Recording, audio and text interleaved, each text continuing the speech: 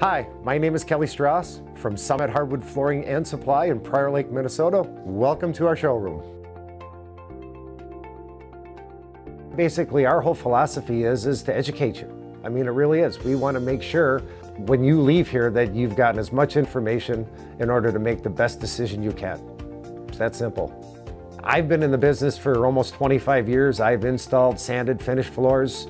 Um, you know, we sell to contractors, so the contractors I'm always experienced dealing with technical questions, how to deal with issues that we have on homes.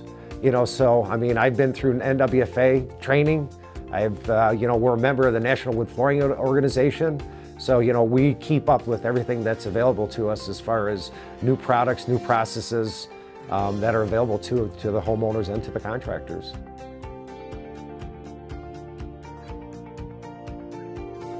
If you have a lot of children, underage, big dogs, floors will scratch. They will dent. It, it's wood is not like concrete. A darker floor will tend to show more scratches and wear and tear and dust.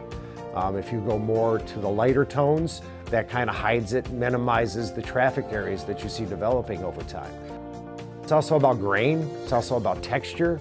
You know, uh, when we start talking with clients about what their cabinet scheme is, you know, a lot of people, we may have, say, an oak cabinet pattern. Well, an oak pattern on a cabinet goes well with another oak floor or a hickory floor, woods that have similar grain. Because when you start talking about color and grain and contrast, we always try to say to complement the grain tones, you know, let them kind of be the same and then let the color be, be, the variation. Because sometimes when you have an oak wood and say comparable to a tight grain wood like a maple, not only is the grain the contrast, the color is the contrast and they just don't complement each other very well. So we try to push people into direction of saying, okay, what is your cabinets? What are your countertops? What is your trim package? What are your doors? You know, a lot of homes have a golden oak package. You know, the old brown golden oaks and they're not going to change their doors and their casings, but they want to change their floors and paint their walls. So now we have to try to come up with some ideas of what will complement it, but yet modernize it.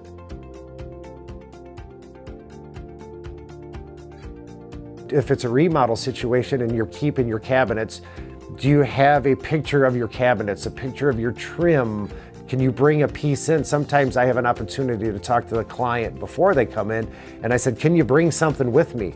Um, are you replacing your countertops? Can you bring a piece of the granite that you kind of like? A lot of people can't afford to hire a designer. So therefore, they're trying to figure out how do I paint my walls? How do I pick my countertops? How do I pick my floors? You start dealing with a lot of colors, tones, textures, and it can be really confusing of how to put the puzzle together what's the most important piece of the puzzle and let's build around it.